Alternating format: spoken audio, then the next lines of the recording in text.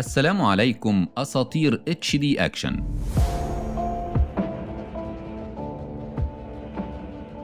وبيبدأ فيلمنا مع المحقق فيكرام اللي بيفضل يطارد ناس لحد ما بيوصل لقفص مش قادر يدخله وبيفضل يتوسل لهم يسيبوا حبيبته لكنهم بيحرقوها قدام عينيه. ومن وقتها وفيكرام مش عارف يمارس حياته ولا شغله بشكل طبيعي خصوصا إن بتجيله نوبات ذعر وبتخليه يغمى عليه. علشان كده الطبيبة النفسية بتاعته بتنصحه يرتاح شوية من شغله ده لأنه بسبب الضغط ممكن تجيله سكتة دماغية ويموت. ومع ذلك فيكرام مش بيهتم وبيروح تاني يوم لمسرح جريمة جديد وبيتقابل مع المساعد بتاعه وصديقه روهيت وكمان بيبقى موجود الضابط التاني اللي بيغير من فيكرام بسبب نجاحه واسمه أكشاي. وطبعا مدير الشرطة لما بيعرف إن فيكرام وصل بيخليه هو اللي يمسك القضية والتحقيق. وبذكاء شديد بينجح فيكرام إنه يحدد المكان اللي فيه الضحية المقتولة. بس أول ما فيكرام بيشوف الجثة بيبدأ يتعب. وهو بيفتكر حبيبته اللي اتحرقت قدام عينيه. ولما بيركب مع روهيت العربية بيعرفوا إن الأعشاب اللي شافها دي ما بتطلعش جنب بعضها. وعلشان كده خمن المكان اللي شاف فيه الأعشاب جنب بعضها لأن ده معناه إن في حد حفر هنا. وفي الاسم المختص بالأدلة والجرائم اللي بيشتغل فيه فيكرام بتوصل صديقته وحبيبته الجديدة نيها وبتاخده علشان يمشي وبيبقى عاوز روهيت يجي معاهم لكن بيبقى مستعجل إنه يروح لإنه لسه متجوز جديد من حب حياته سابنا. المهم فيكرام بيخرج مع نيها لوحدهم وبتبقى شايفة إنه مش بيثق فيها علشان ما حكاش أي حاجة عن ماضيه. فبيعرفها فيكرام إنه ما عندوش الشجاعة يتكلم عن زمان لكن بيوعدها إنه لما يقدر هتكون هي أول واحدة تعرف. وبيحب فيكرام حب نيها الكبير ليه وبيقضوا وقت جميل وسعيد جدا مع بعض لكن نيها بتبقى قلقانة عليه بسبب الضغط اللي بيسببه الشغل بتاعه وبتجمع روهيت وسابنا علشان يأثروا عليه ويخلوه يرتاح شوية من الشغل. ورغم رفض فيكرام وإنه بيتخانق معاهم كمان إلا إنه بيوافق ياخد أجازة يقعد فيها لوحده بعيد عن الكل. وبعدها يبقى يرجع الشغل من تاني. مدير فيكرام أول ما بيقرأ طلب الأجازة بيستغرب لأن فيكرام عمره ما بياخد أجازة من الشغل. وعلشان كده بيوافق فورا على الأجازة بس لما بيأكد له فيكرام إنه هيبقى معاهم على تليفون لو حصل حاجة. وعلى الناحية التانية من نفس المدينة بتبقى في بنت جميلة اسمها بريتي. بيجي لها مكالمة معاكسة وبتتضايق وبتقفل السكة وبتنزل علشان تروح مشوارها. لكن في الطريق عربيتها بتتعطل وما بتكونش عارفة تتصرف إزاي. وهنا بيبقى في واحد من الشرطة اسمه إبراهيم معدي. وشافها فوقف يساعدها لكن بريتي بتقلق منه وبتعرفه إنها هتكلم أبوها يجي يوصلها وبترفض إنها تركب معاه. فبيديها إبراهيم تليفونه علشان تكلم أبوها لأن تليفونها متعطل. وبالفعل بتكلم ابوها ويأكد لها إنه جاي فبيمشي إبراهيم ولما بيروح علشان يوصل الملف المطلوب منه بيكتشف إن في خطأ وبيضطر إنه يرجع من نفس الطريق تاني. وقتها بيشوف عربية زرقاء واقفة مع بريتي وبيفهم إن أبوها خلاص جه علشان يوصلها فبيرجع القسم عادي يجيب الملف. ولما رجع للطريق شاف الأب واقف بيدور على بنته. فبينزل إبراهيم وبيعرفه اللي حصل من شوية والعربية الزرقاء اللي شافها. لكن الأب بيأكد له إنه لسه جاي ومش لاقي بنته ولا رجعت البيت. وبيلوم على إبراهيم رغم انه عرض المساعدة على بريتي وهي اللي رفضت وعلشان كده بيروح القسم يقدم بلاغ باختفائها وبيعامل إبراهيم بشكل مش كويس لأنه شاف بنته وما خدش باله منها. فبيروح إبراهيم يشوف كاميرات المراقبة بتاعة الحدود والغريب إنه مش بيشوف العربية الزرقاء اللي شافها واقفة مع بريتي نهائي. وهنا المدير بيجي وبيزعق مع إبراهيم وبيوقفه عن العمل لأنه رفض يعتذر لأبو بريتي صديقه. وبيوعد المدير أبو بريتي إنه هيتولى الموضوع بنفسه لحد ما يوصلوا لبنته. وبيعدي شهرين وبتيجي مكالمة لفيكرام إن نيها اختفت ومش لاقيينها. فيكرام بيتصدم وفورا بيقطع أجازته وبيروح للمدير علشان يتولى القضية. لكن المدير بيفاجئه إنه سلم القضية خلاص لأكشاي يحقق فيها. وده لأن أكشاي شاكك أصلا في فيكرام. وده لأنه اتخانق معاها قبل الأجازة وكمان رنت عليه كتير وهو ما كانش بيرد عليها. فبيروح فيكرام يقابل روهيت لأن هو الوحيد اللي هيساعده من غير ما حد يعرف. وبيدخل فيكرام بيت نيها وبمجرد دخوله بيشم ريحة عطر قوية جدا لكنها مش بتاعه نيها فبيحاول يدور على أي دليل في البيت يوصله ليها لكن بلا جدوى. فبيروح تاني يوم القسم وبيعرف روهيت بموضوع العطر وبيطلب منه يجيب له سجل مكالمات نيها قبل ما تختفي. وبيأنب نفسه إنه ما كانش بيرد عليها طول الفترة اللي فاتت وأكيد كانت محتاجة له. وبيفضل فيكرام يبحث لحد ما بيعرف بقضية بريتي اللي اختفت في نفس توقيت اختفاء نيها. وكمان نيها كانت بتحقق في موضوع اختفاء بريتي بكل الطرق. فبيقرر فيكرام يدور ورا قضية بريتي يمكن يوصل لحاجة. وبيروح يطلب من المدير يسلمه القضية علشان يبدأ التحقيق بشكل بشكل مكثف والمدير بيوافق. وعلى طول بيطلب من روهيت يجمع له عينات الحمض النووي من أفراد عيلة بريتي كلهم. وتاني يوم بيروح يزور إبراهيم علشان يتكلم معاه شوية. وأثناء طريقهم للبيت بيطلب إبراهيم إنهم يقفوا عند الميكانيكي بتاعه فهد لأن الموتوسيكل بتاعه هناك. وبياخدوا الموتوسيكل وبيروحوا لبيت إبراهيم. وبيحكي له إبراهيم كل اللي يعرفه وشافه يوم اختفاء بريتي وموضوع العربية الزرقاء. كمان فيكرام بيفتش في بيته على أمل إنه يلاقي دليل أو ريحة العطر اللي شمه في بيت نيها لكن مش بيلاقي حاجة. وبيطلب من روهيت يدور ورا إبراهيم لأنه مشتبه فيه هو كمان. أما اكشاي فبسبب كرهه لفيكرام بيتهمه إنه ليه يد في اختفاء نيها وبيطرده من المكتب وبيرفض التعاون معاه. فبيروح فيكرام على الحدود وبيطلب من روهيت يجمع له كل السواقين اللي بيعدوا من هنا ويسألهم عن العربية الزرقاء. وبيتجه بعدها لبيت بريتي علشان يتكلم مع أمها وأبوها. وهنا بيتفاجئ إن بريتي يتيمة وجاية من ملجأ معين. وهم تبنوها واعتبروها بنتهم. فبيروح الملجأ ده وبيعرف إن بريتي كانت طيبة جدا. وكل فترة بتبعت فلوس للملجأ كمان علشان تساعد الأطفال الأيتام اللي فيه. ولان فيكرام بيروح لكل اللي كانوا يعرفوا بريتي بيروح لصديقتها المقربة شيلا واللي بتبقى مطلقة وعندها ولد بس عايش مع جوزها وحياتها كئيبة. وبيشك فيكرام فيها رغم كلامها إنها ما تعرفش حاجة عن بريتي من قبل اختفائها بكام يوم. وبيبدأ التحقيق يتوسع بشكل كبير جدا لحد ما بيوصل للجامعة اللي كانت فيها بريتي. وكمان حبيبها الشاب جاي اللي بيأكد إنهم كانوا أصدقاء فقط لا غير. ومحدش منهم بيبقى معاه عربية زرقاء بالمواصفات اللي قال عليها إبراهيم. فيكرام بيشك حتى في مدير الجامعة نفسه وبيحاول يوقعه في الكلام لكن بيتأكد إنه ما يعرفش حاجة عن الموضوع وبياخد روهيت وبيمشي. وبيفضل فيكرام يجمع عينات الحمض النووي من كل اللي يعرف بريتي علشان يوصل للحقيقة. وفي الليل فيكرام بيطلب من روهيت يجيب سابنا مراته ويقابلوه في ملهى ليلي كانت بريتي بتروح عليه كتير. وبيفضل فيكرام يتخيل حبيبته القديمة اللي اتحرقت وأعصابه بتبقى متدمرة تماما. بعدها بيروح على الملهى وبيقابل روهيت وسابنا ولما بيبص على واحد من العاملين في المكان بيفهم إنه كان متورط في قضية قبل كده ومغير شكله. ولما بيواجهه فيكرام بالموضوع الشاب بيخاف وبيزق فيكرام وبيطلع يجري. فورا روهيت وفيكرام بياخدوا العربية وبيطلعوا يطاردوه لحد ما الشاب بيوصل منطقة معينة وبينزل يجري على رجليه. وبينبه الموجودين في المكان بالإشارة علشان يتفاجئ فيكرام بوجود شخص كمان. وبيحاول يهجم عليه لكن روهيت وفيكرام بيضربوا الاتنين بمنتهى السهولة. وفيكرام بيكون عاوز الشاب يعترف على مكان بريتي ونيها. لكنه بيتصدم إن الشاب ده أصلا في الممنوعات مش أكتر وده سبب جريه منه. فبيتصل على المختصين علشان يجوا يقبضوا عليه لأنه مش من اختصاصه. وبيقرر بعدها يخلي أهل بريتي يعملوا حفلة صلاة علشان يدعوا فيها إن بريتي ترجع. وبيطلب من روهيت يعمل قائمه بأسماء اللي مش هيحضروا يمكن يكون الخاطف فيهم. وبيفضل مراقب الكل لحد ما بتيجي شيلا تنده عليهم بسرعة. وهنا بيلاقوا ورقة مكتوبة بخط معين وبتبقى رسالة لفيكرام إن الجثة موجودة ورا المستودع. فيكرام بيتصدم ومرعوب من فكرة إنها تبقى جثة حبيبته نيها وقبل ما يوصل للمستودع بتجيله النوبة وبيقع على الأرض مغمى عليه في الحال. وبيفتكر حبيبته القديمة لما كانوا عايشين في سلام مع بعض وكانت دايما بتحس إن في حد مراقبها أول ما فيكرام يمشي. لكن فيكرام لما بيسأل الحارس بيعرف إن مفيش حاجة فمش بيدي الموضوع اهتمام. وبيفكرها بتتخيل بسبب الأدوية اللي بتاخدها. وهنا بيفوق يلاقي نفسه في المستشفى وقدامه أكشاي عايز يستجوبه. لكن المدير بيوصل وبيخلي فيكرام يمشي علشان يروح للمستودع يكمل القضية. وبيقرر يبعد أكشاي عن القضية تماما. بسبب هوسه بفيكرام أكتر من الجثة اللي بيدوروا عليها دلوقتي. ولما بيوصل بيعرف من روهيت إنهم بيدوروا بقالهم خمس ساعات بلا جدوى. ولما بيعرف إن في آثار لعربية بيطلب من روهيت ياخدها علشان يحللوها ويعرفوا عربية مين بالظبط. كمان بيحاول يحلل الخط المكتوب به الرسالة لكن الموضوع بيبقى صعب بسبب إنه مكتوب بخط كبير ومميز. فبيروح لشيلا لإنها أول من لقى الرسالة وبلغ الباقي. وهناك بياخد باله من صورة لابنها شيلا اللي رسماها فبيصورها وبيروح القسم يطلب من المحلل يبص على الخط ويقول له إذا كان نفس اللي مكتوب بيه الرساله ولا لأ. لكن الموضوع بيبقى صعب لأنها مجرد صورة مش الأصل وبيخمنوا بشكل مبدئي إن في تشابه بين الخطين. وفورا بيروح لبيت شيلا ومعاه أمر تفتيش وبيقلب البيت كله بحثا عن الأدلة وبيفتش عربيتها كمان لكن ما بيلاقيش حاجة خالص. بس قبل ما يمشي بيلاحظ عربية متغطية وشيلا بتعرفه إنها كانت عند الميكانيكي ولسه راجعة. وبيتصدم لما بيلاقي لونها أزرق وبيفتكر كلام إبراهيم. طبعا بيفتشها وهنا بتبقى المفاجأة لما بيلاقي ورق بنفس خط الرسالة وبيفهم إن شيلا كانت بتتدرب عليه قبل ما تكتب لهم الرسالة فبيعتقلها في الحال وبيسألها عن نيها وبريتي لكنها ما بتبقاش عارفة مين نيها أصلا. ساعتها بتحكي له شيلا إنها كتبت الرسالة فعلا لكن ما تعرفش حاجة عن موضوع الخطف وعملت كده لإنها مطلقة وعايزة تلفت الانتباه ليها شوية. طبعا فيكرام ما بيصدقهاش وبيأمر الضباط يعذبوها علشان تعترف ولما بتفضل شيلا مصممة على رأيها بيقرر فيكرام يحطها على جهاز كشف الكذب. ورغم ورغم إن إجابتها كانت تمام إلا إنها اتوترت لما سألها عن نيها وبريتي لكن اختبار كشف الكذب بيأكد صدق شيلا. وفيكرام برضه شاكك فيها وحاسس إنها ممكن تكون اتدربت علشان تجتاز الاختبار ده. علشان كده وبدون ما يرجع للمدير بتاعه بيقرر يعمل لها اختبار عقاقير. وبيدوها العقار فعلا وبيحاولوا يستجوبوها لكنها بتقاوم. وفجأة وبدون مقدمات بتصرخ باسم نيها. فيكرام بيتجنن وبيهجم عليها وعاوز يعرف مكانها. وقتها روهيت بيهديه وبياخده وبيخرجوا بره والمدير لما بيعرف اللي حصل بياخد فيكرام في المكتب يتخانق معاه ويزعق له لأنه كان لازم ياخد إذنه قبل ما يعمل اختبار العقاقير ده وبيستدعو إبراهيم اللي بيشوف عربية شيلا الزرقاء وبيأكد إن مش هي اللي كانت واقفة مع بريتي يوم اختفائها. وهنا بتوصل مكالمة لروهيت بيعرف فيها إنهم لقوا جثة مجهولة ورا المستودع. فيكرام بيتصدم وبيبقى خايف ومرعوب إنها تبقى جثة نيها. فيكرام ما عندوش استعداد ابدا يخسر حبيبة تانية بعد اللي حصل معاه زمان. وبيفتكر حبيبته وهم بيخطفوها من البيت وهو مش موجود. ولما راح علشان ينقذها حرقوها قدام عينيه وحرقوا قلبه عليها. وأول ما بيوصل للجثة اللي عند المستودع بيتصدم إنها هيكل عظمي وبيطلب فورا تحليلها علشان يعرفوا جثة مين. وبيروح لشيلا يزعق معاها لأنهم لقوا جثة في المكان اللي قالت عليه في الرسالة. وأكيد ليها علاقة باللي حصل. بعدها بتجيله مكالمة من روهيت بيعرف فيها إن الجثة تخص بريتي. ولما بيحللوها بيلاقوا حمض نووي يخص جي حبيب بريتي. وبعد شوية بيلاقوا حمض نووي خاص بأبو بريتي والست بتاعة الملجأ كمان. والغريب إن في حمض نووي ثالث بس الشخص مجهول ما يعرفوش هو مين لسه. فبيروح فيكرام لمكان جي وبيهجموا عليه هو وصاحبه وبيقلعوا فيكرام هدومه. وبيشوف خرابيش في ظهره وبيحس إنها من بريتي علشان كده بيعتقله هو وصاحبه. وفي الليل بيطلب فيكرام إن سابنا مرات روهيت تيجي. وده لأنه اكتشف إنها كانت في نفس الملجأ مع بريتي لما كانوا صغيرين. ولأن فيكرام مش بيفكر في العاطفة خلاص بيطلب تحليل الحمض النووي بتاع سابنا علشان يتأكد إنها ملهاش دعوة بحاجة. وبتعرفه سابنا إنها ما كانتش تعرف إن بريتي اللي بيتكلموا عليها دي تبقى هي اللي كانت معاها في الملجأ وتاني يوم بتيجي التقارير وبيتأكدوا إن سابنا ملهاش علاقة فعلا. وقتها فيكرام بينجح انه يشوف عربية نقل. عدت في نفس ميعاد اختفاء بريتي ونيها من الحدود واللي راكبها شخص بدقن كثيفة لكن ملامحه مش باينة. وأثناء ما فيكرام كان واقف يفكر بيشوف العسكري بيصلح عربية. وهنا بيفتكر الميكانيكي فهد ده شبه الراجل اللي بيسوق العربية الضخمة بالظبط ونفس الدقن. علشان كده بيتجه للورشة بتاعته بس بيعرف إنه قافل بقاله كام يوم. فبيروح لإبراهيم وبيطلب منه يجي معاه البيت فهد وبالفعل بيتحركوا على هناك وأول ما بيدخل فيكرام بيلاقي نفس العطر اللي شمه في بيت نيها وبيتأكد إن فهد هو الخاطف. وهنا فهد بيظهر وبيضرب عليهم النار فبيطلع فيكرام وإبراهيم يجروا وراه. لحد ما بيدخل فيكرام في قتال شرس مع فهد لكنه بيقدر يهرب منه. وهنا البرق بيضرب الشجرة فبتولع وبينهار فيكرام ولما إبراهيم بيحاول يطمن عليه بيتصدم بطلقة في قلبه وبيقع ميت في الحال. وبيجي فهد يخلص على فيكرام هو كمان لكن بيظهر على آخر لحظة أكشاي اللي كان بيتتبع فيكرام وبيضرب النار على فهد وفورا بيعترف لهم فهد إنه عمل كل ده بأوامر من شخص معين وبياخدوه على البيت بتاعه وأول ما بيدخل فيكرام البيت بيتصدم ده صاحبه ومساعده روهيت اللي موجود. روهيت ساعتها بيقول له إنه مش هيعرفه الحقيقة وبيسحب مسدس فبيضطر فيكرام يديله طلقة في دماغه وبتخلص عليه في الحال. وبيطلع أكشاي فوق وبيتفاجئ إن نيها مربوطة فبيفكها وبينزلها لفيكرام في الحال. وقتها بيفهم فيكرام إن سابنا هي السبب في كل ده وبيجيبها علشان يستجوبوها وقتها بتحكي سابنا إن هي وبريتي كانوا أصدقاء في الملجأ وبتحبها جدا. لكن لما جت عيلة اتبنت بريتي وسابتها حست بالحقد والزعل. ولما كبرت شافت بريتي في الملهى الليلي وحاولت تتكلم معاها لكن بريتي ما كانتش مهتمة. وده عصب سابنا أكتر لإنها كانت بتحبها جدا. ساعتها قررت تتفق مع فهد اللي كان مزنوق في فلوس وخلته يعطل عربية بريتي ويخطفها. ولما حاولت سابنا تتكلم معاها اتخانقوا سوا وقتلتها بدون قصد. روهيت لما عرف الموضوع ما كانش قادر